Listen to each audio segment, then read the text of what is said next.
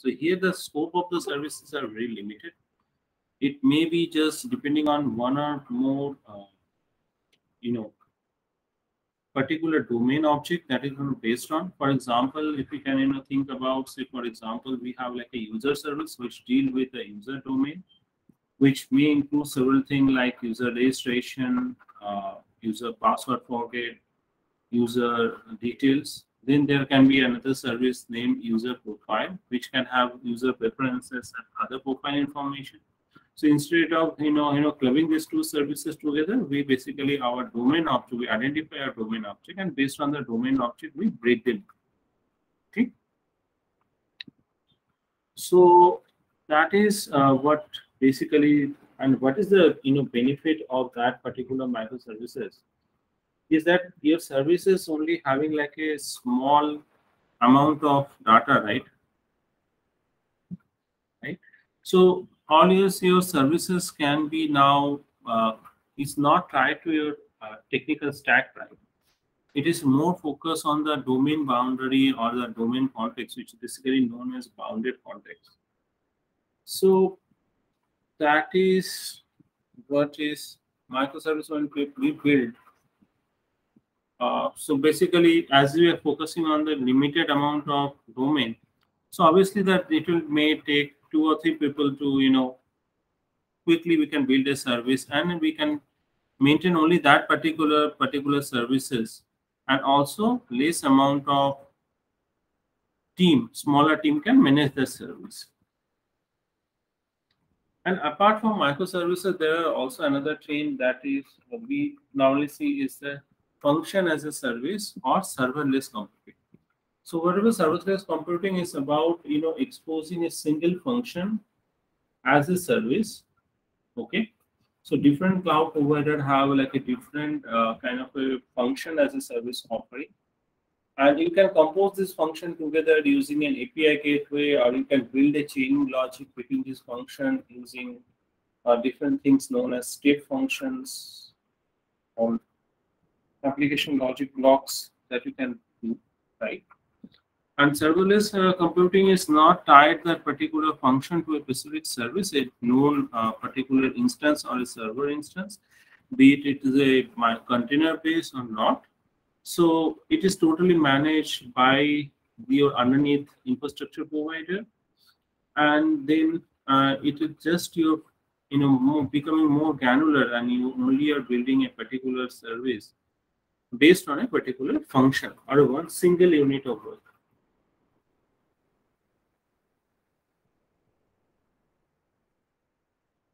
right? So it will also, um, as this is like services, function services are basically very much, you know, quick time to start up than your normal application. Okay, so whatever you know framework that is been created, are basically take lots of time to boot up. Okay and these particular things are having as their own challenges also so challenges are normally what you find is that is the startup time that particular service and the execution speed that it is do and also the amount of memory it takes up the more bigger my, my service footprint will be the harder it to be you know scale uh, either vertical, you know, we can, you know, we not able to going to be scale that quickly. And also, like if you have like a one uh, service having like fat service which has everything, right? And if the particular service down, it also takes out several, uh, you know, key features of your application together. So there is less amount of resiliency if you create a kind of a monolith kind of a structure instead of you know focusing on the microservices or the serverless offering of that.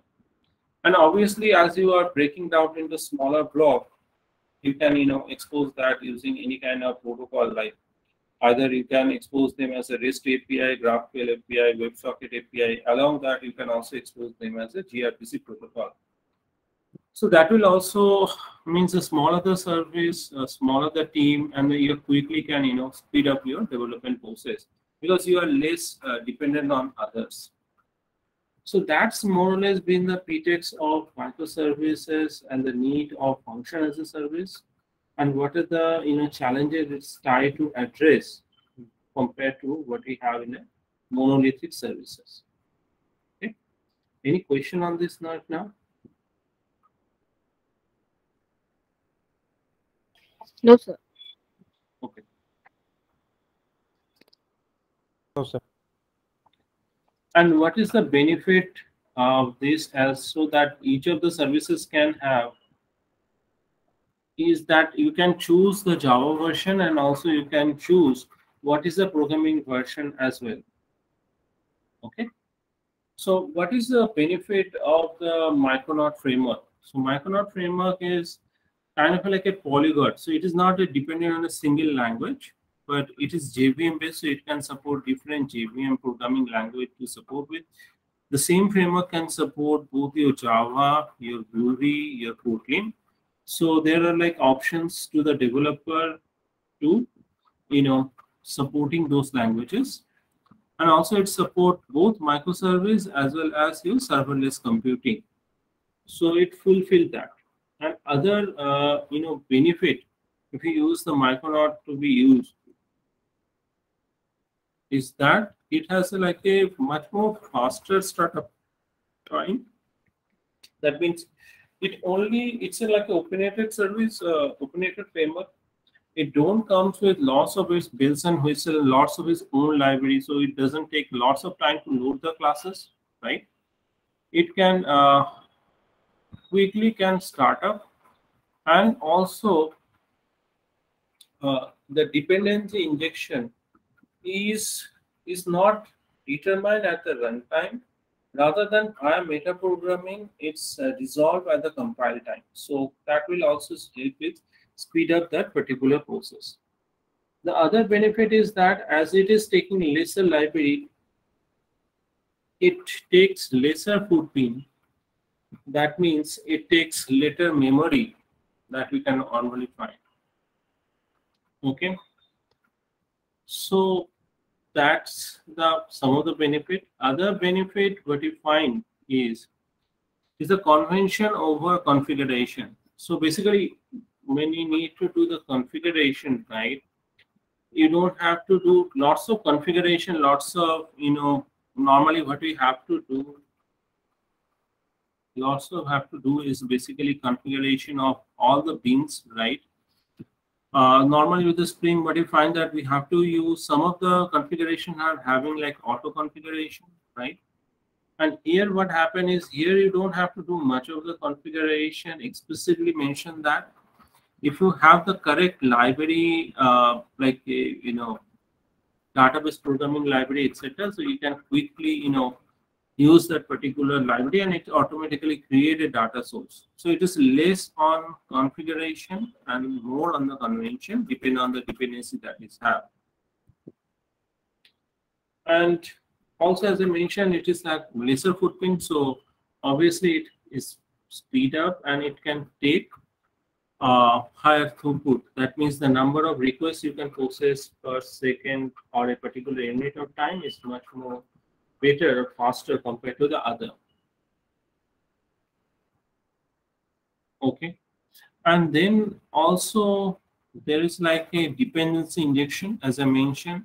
It is happening on the compile time. It has been resolution and it is not uh, dependent on the runtime. So it's more faster. Those dependencies and errors are been difficulty to find out. Okay. And another thing is that it has like a sensible defaults right?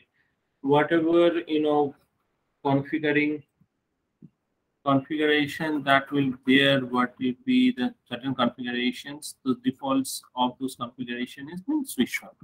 Okay. So that's are the some of the benefits that you can find.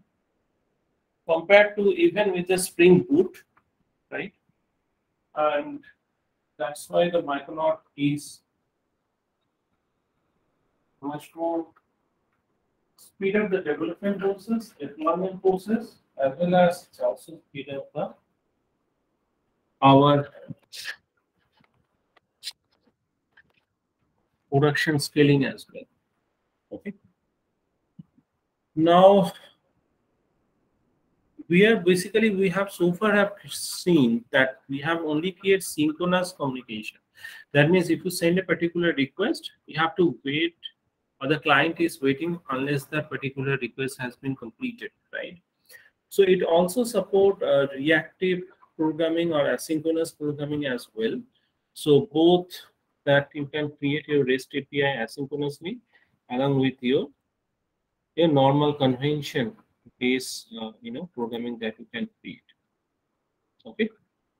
So these are the some of the benefit of using Micronaut that is compared to the Java application.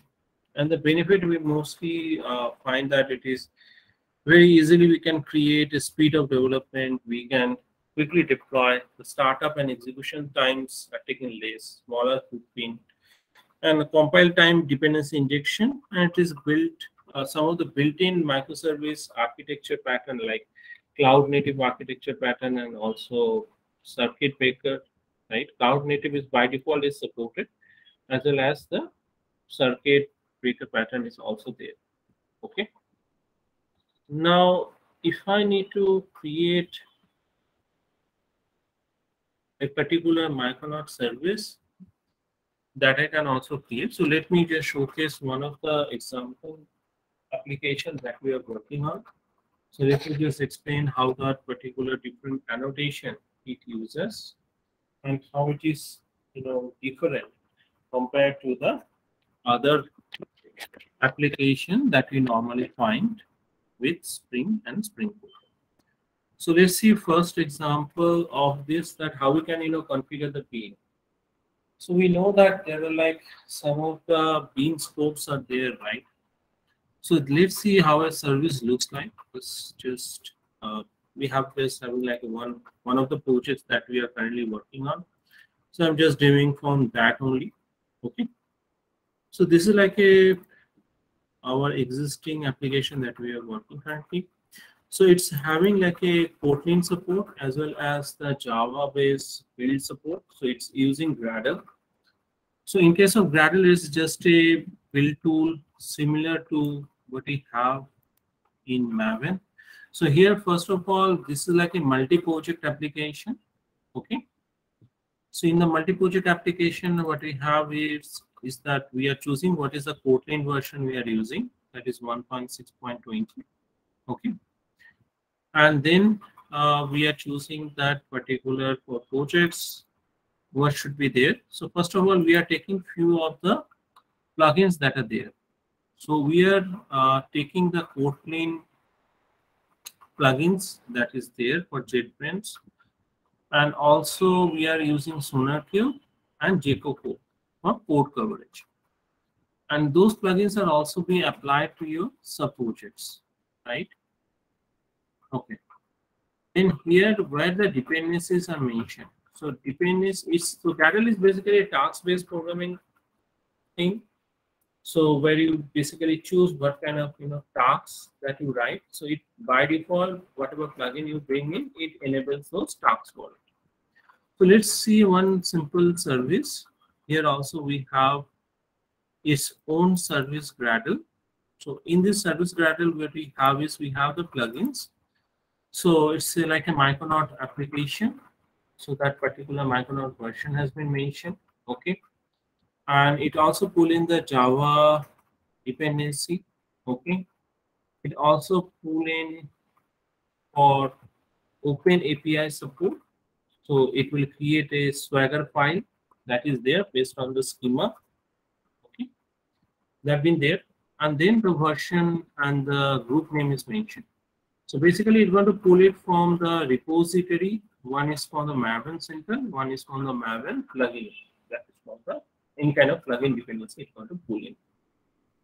Next comes in the Micronaut. So it choosing its runtime. So it's choosing the runtime as Netty. So Netty being another web container, just like you have Tomcat, it has Netty as a container. Then you have the test runtime that is JUnit 5, the latest version that we are using. Okay.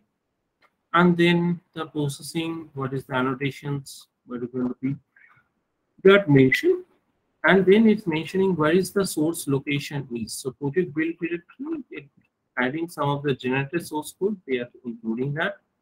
Next is including uh, Micronauts uh,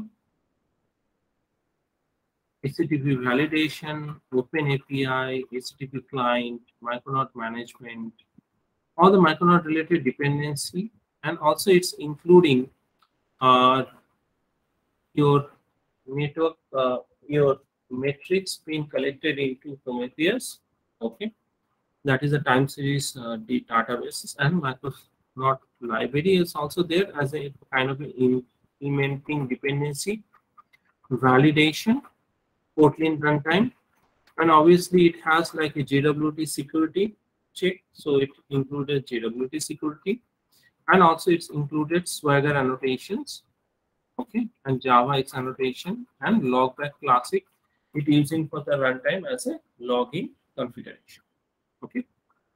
Other thing it's also runtime. It's uh, dependent on the jackson module. That is for your json to java java to json kind of a library conversion next you have uh, inject annotation processor micronaut core for testing support and then it has the swagger annotation for test implementation jackson data binding find bug json json fire then other dependency like OK HTTP3, logging interceptor, etc. has been added.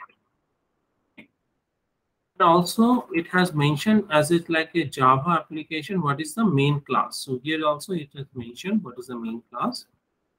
And the source compilated Java version, which version we're going to be using, that's mentioned.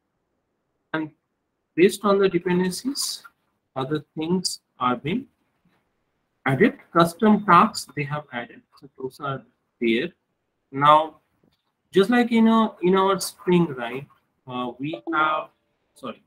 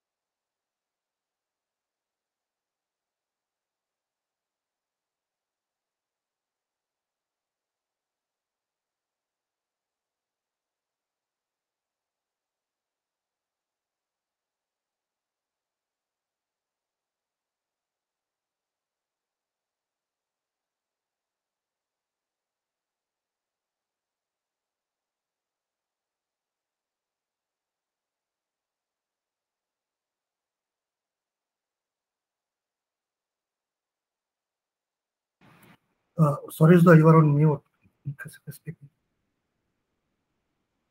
Let me unmute. So let's look into the same application that we have. Some of us have already seen. Just just just going into the different steps. So basically, it's building a Micronaut uh, instance first of all. Okay, and as a part of this, what is they are doing? They are just like a Spring Boot. They have like a main function. It's also the same like a main function. It has a build dot functionality is there. Then the whatever argument it is passing then it's taking the root uh, package or arguments then they are starting the application. Okay? That's your basic structure looks like. And it is also been mentioned as a jvm static. So it's indicate that this is like a static method as such right? So from here it will start executing our application so now as you have already know that uh, it accept the application then YML files. Just like in the Spring, you have like a YML dash the environment name that is mentioned out here. So whatever multiple environment like a stage port, etc., you can mention there.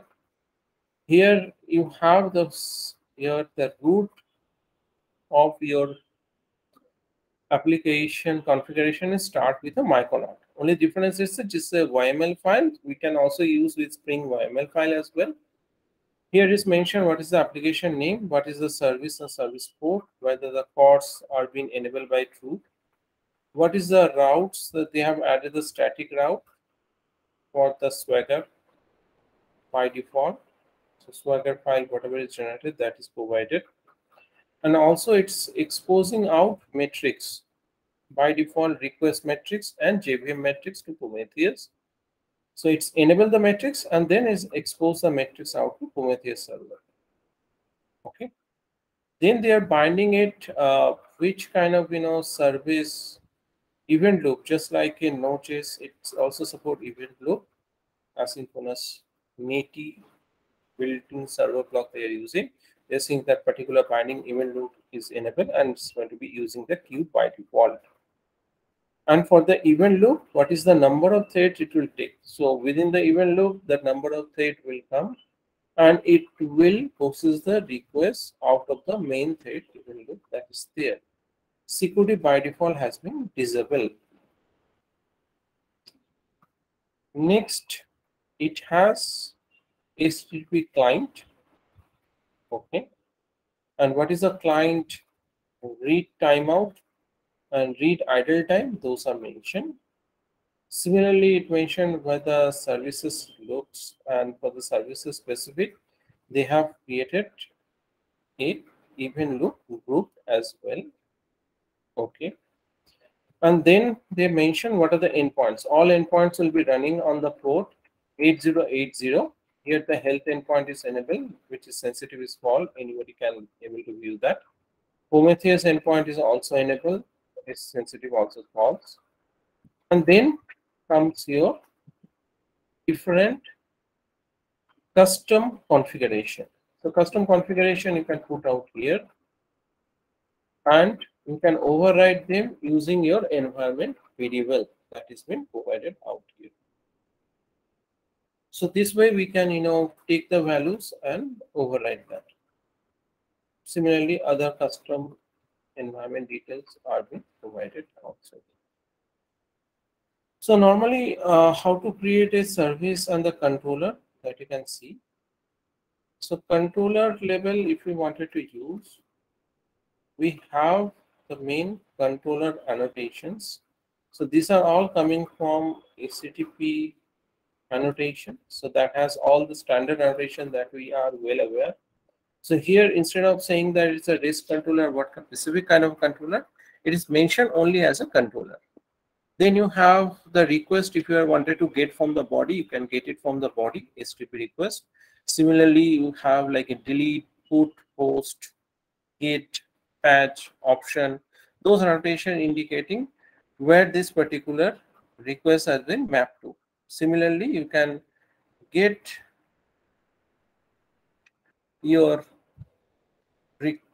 parameter, query parameter, either from the query value annotation or path value annotation.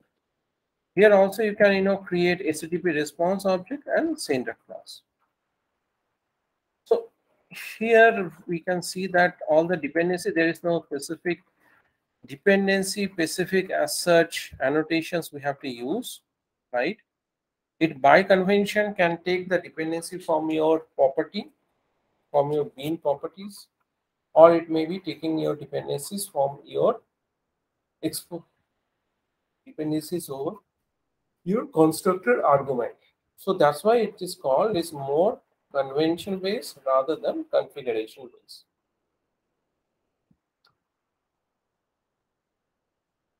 Now here if you can look into, so here it is basically a get call.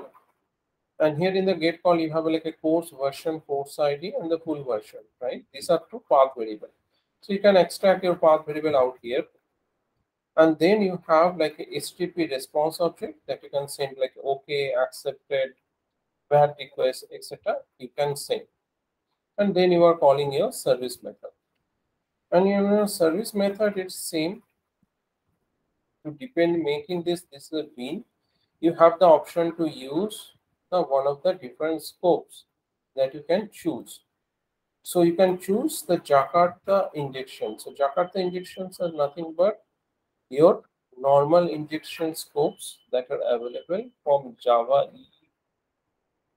and they are basically say either you can use inject you can a factory function or a class which can provide a particular resolve or provide a particular implementation of any interface or a particular bean. Similarly, you can choose a particular scope or you can choose singleton annotation or you can mention the bean name using name annotation. So that been coming from here and again whatever the sub dependencies are coming into the constructor out so that is, you don't have to use any specific stereotype output, any kind of bean you can, depending on your type, request scope or other scope, you can appropriate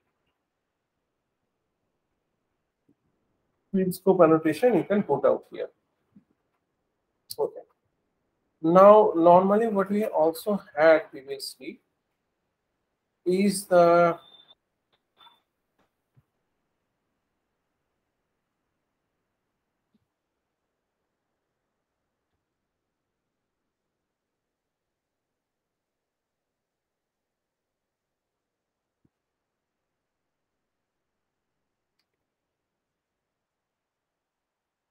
they have also have like a exception handler, right? So that we are in Spring we are calling basically as a advisor, right?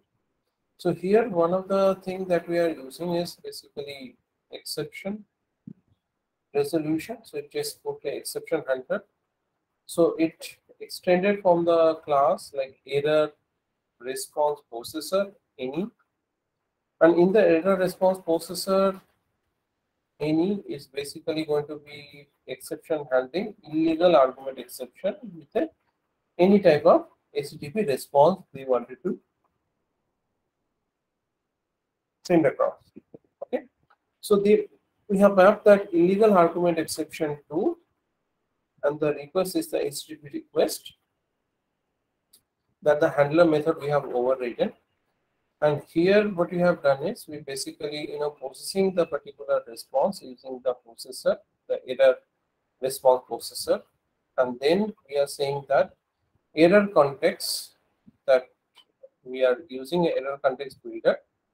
And that is basically having your request object, your cause of exception, your error message that we have built the error context having the, all the detail about the request object, error message, and the exact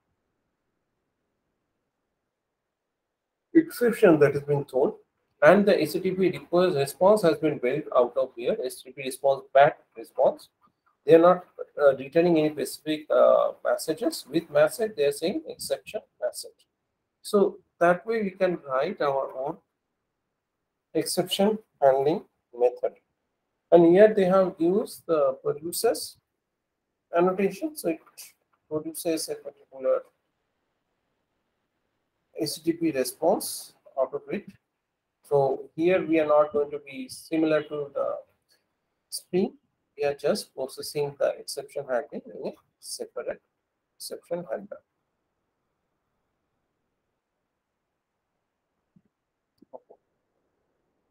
Then uh, it's more or less the same. The other thing that we have already seen is the if I wanted to access any kind of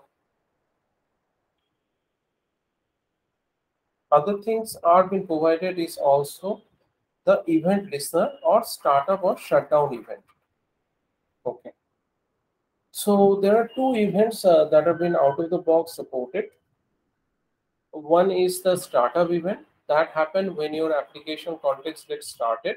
So you get a startup event object.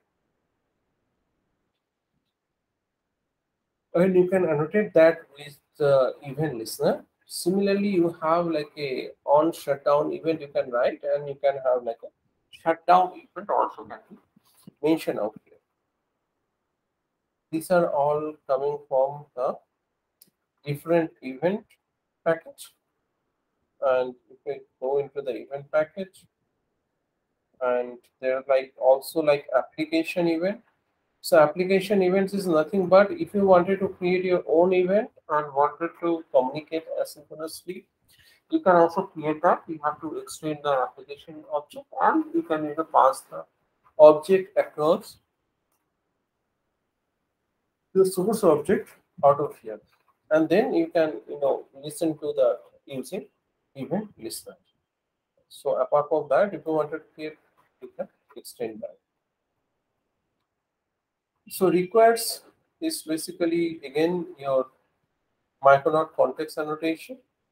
Those are mentioning that this particular object will be required as the time of the your application gets started because this is not getting injected anywhere else. So there are like different annotations are there. Like you can have like a different annotation that are for context related are available. For example, you can create a bean configurations. So you can create, you can import another configuration into there. You can create a factory method.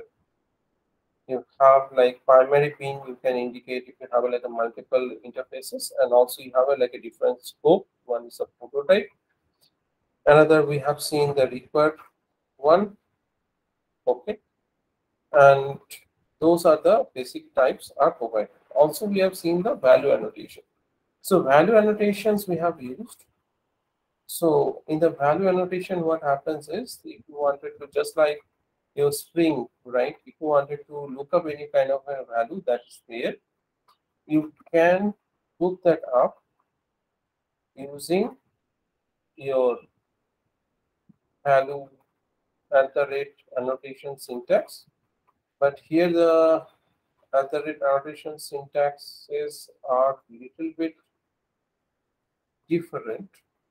So let me search. There we have use value annotation. So here we have use value. Okay.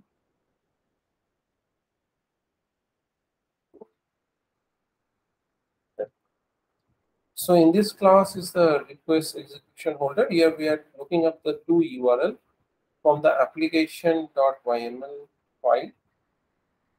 So that is you mentioned the content toolkit dot something else, right? So that you can look it up into your code base also that we have seen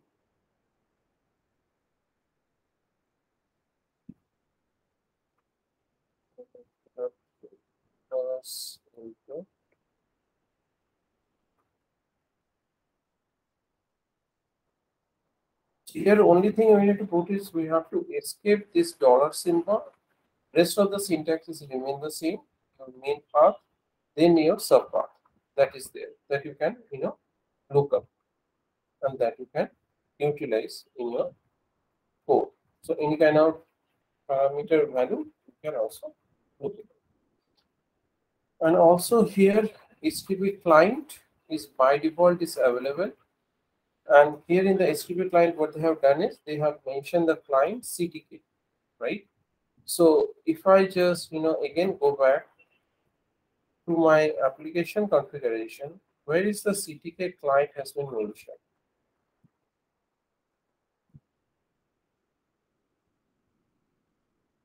Here we have HTTP client. Okay. So under here, the HTTP client, this particular event loop group has been mentioned, and that particular event loop group will be used by the client. So if you wanted to create an HTTP client, which is by default be available from the Micronaut, and then that particular client you can use using that which client you wanted to use that is under that particular thing we can have that. Now also out here, what they are doing is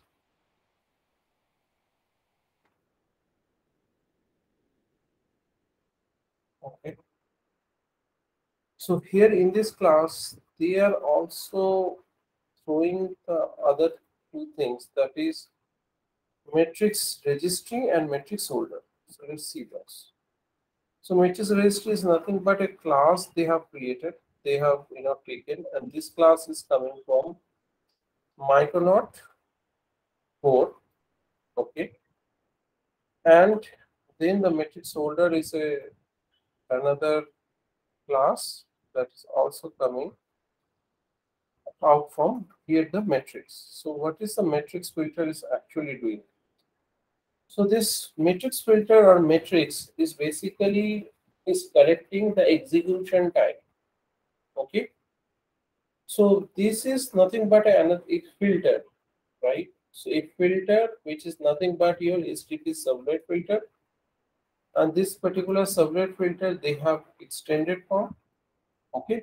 So it's obviously have like a do filter right? And they, they have used the filter notation so any kind of request will come to this. Okay. And from the matrix filter they are injecting the matrix holder. So what is the matrix holder is currently holding is a mutable map of this. Okay, you can put any kind of matrix out here in the map with a key name and you can get the value of that particular matrix and you can override that particular value, right? So let's see who is using this particular matrix. Only matrix holder is using that. Okay. So what this particular uh, matrix holder is doing it is basically a normal like a filter chain that we are normally exposed to. It has taken the request, SP request, and the filter chain. So filter chain we had previously met like a do filter. Here we have the do request, post it with the request object. So it goes to the particular next in the line of the request processing.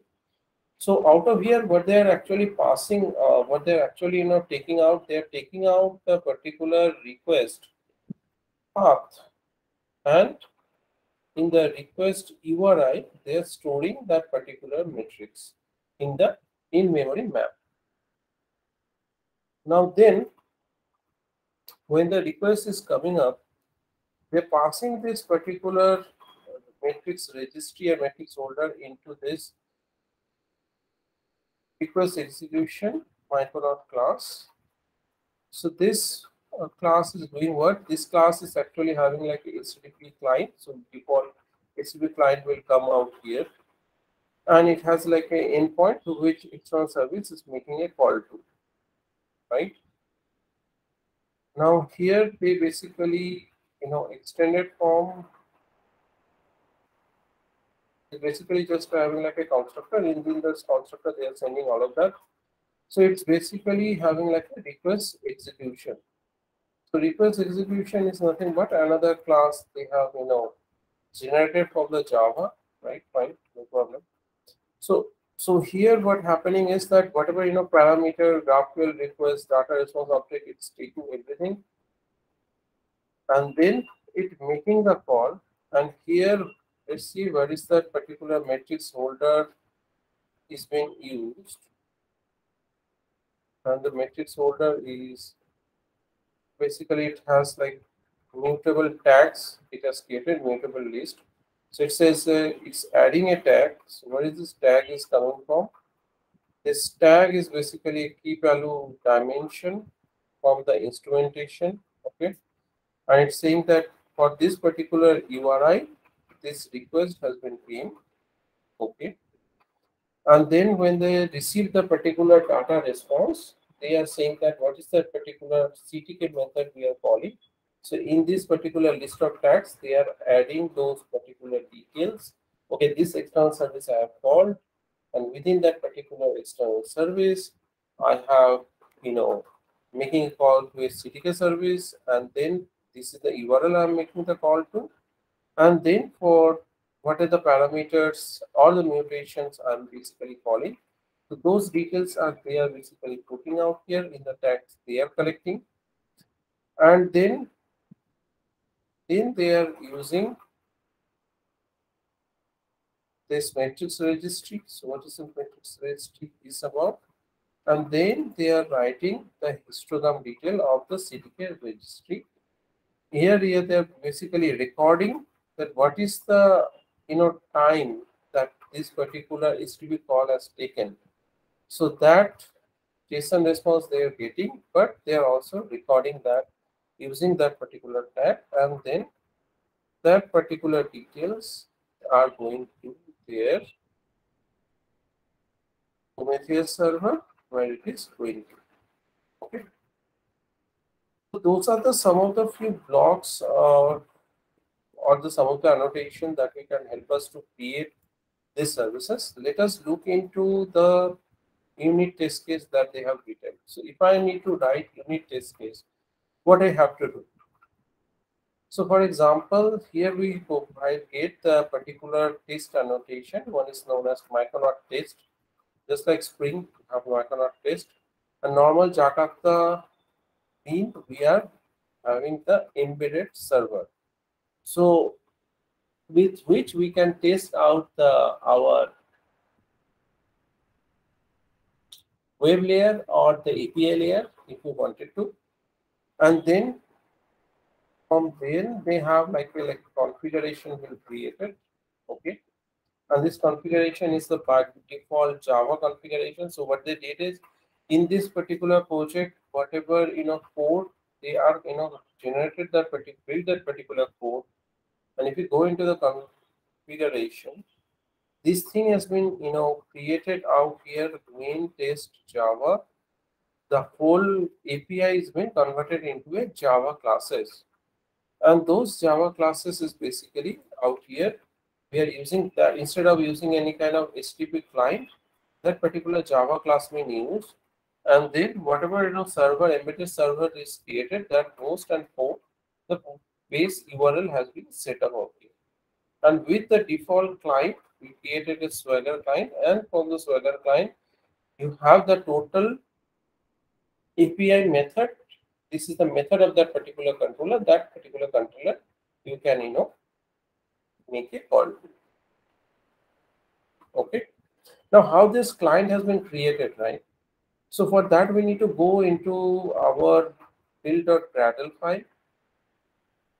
So in the build.gradle, what happening is by default, here we have included this generator. So what is this generator does? It generate the sources from a Swagger file. So that means when this particular plugin is bought into, it's automatically when the application starts or application get compiled, it creates a Swagger file with a .yml file that been created and from that particular file is basically your Java classes are created. The same Java classes are being used out here okay now if your service is dependent on other service can i use mocking out here yes i can use mocking out here so for example here is a very basic example so as you have seen that okay my embedded server is run. So when I'm going to make a call, it's going to go and make a call to that particular endpoint, right? Correct. So here we are not done the mocking, but Yes, here we have done the mocking. So anyhow, they are dependent on the HTTP client, right? So here you can use the mock bean to create an HTTP client class and you can use your normal Mockito statements to create a mock bean out of that particular class and then on the you can mock that particular blocking HTTP client that is internally it is calling and then you basically check when that particular mock or two blocking method call when happening then you return the particular this blocking client that is there. And then when the blocking client they are retrieving any kind of a response against HTTP request and against HTTP class they're going to be returning the JSON string converting that into a JSON object and return that. So that's how the particular mocking facility mocks has been used using mock B. And when you're actually making running this application and making a call with that particular test case, actual external APIs is not been called. Via the mocking bean, it has been mocked out. Okay. Now you guys can uh, ask that where this particular uh, mocking bean call is coming from. So mocking bean call is coming from, I think we have seen out here.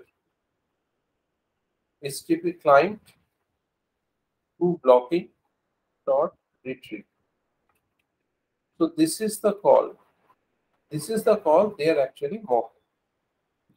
So similar way, we can mock any other classes if we wanted to. We can create and replace the mock bean and we can use Micronaut test annotation that we have on top and then based on the inject we can execute this. Any questions so far?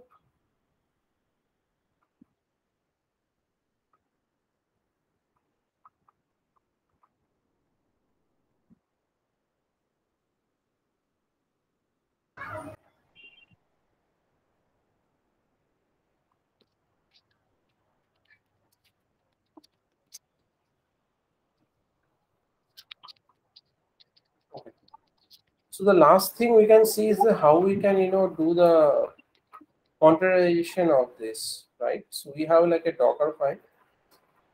So as it is running on uh, Java, right? So obviously we're going to be start with the OpenJDK version. You can choose the version 15 they have used. And then they have created the work directory, a folder. They copy all the content that is out here in this folder into this location and then they use the Gradle service.assembly no daemon trace. So that means this portion is going to be creating a executable assembly or a jar. Okay. Now here we can see that this has been this particular phase. This is like a multi-phase or multiple uh, state Docker file. So one module we have been used to build it. Okay. Another different JDK option we have used to run it. Okay. So you can run on the latest JDK if you want to. So here you have just add the call command with APK. Then you have the home.app working directory. And from the other copy image section, you just copying from the builder. From the builder, you are copying this build dot layer dot leaves. You're copying out here. Resources you're copying. And with that particular layer, you have like application dot jar being created and same application dot jar you have copied over here. And then you have expose your debugger point as well as your application execution point. Then you have created an entry point. It's a simple Java jar. So Java jar, then application dot created.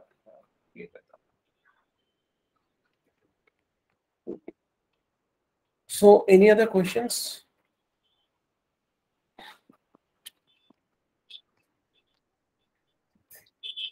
So in this session, what we actually not cover is that Micronaut having his own CLI, how can we use the CLI to create application controller services bean, etc.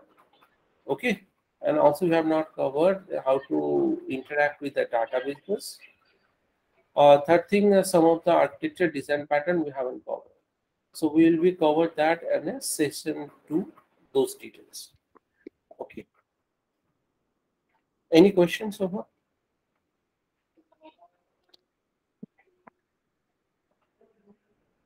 If not, that we can end our session.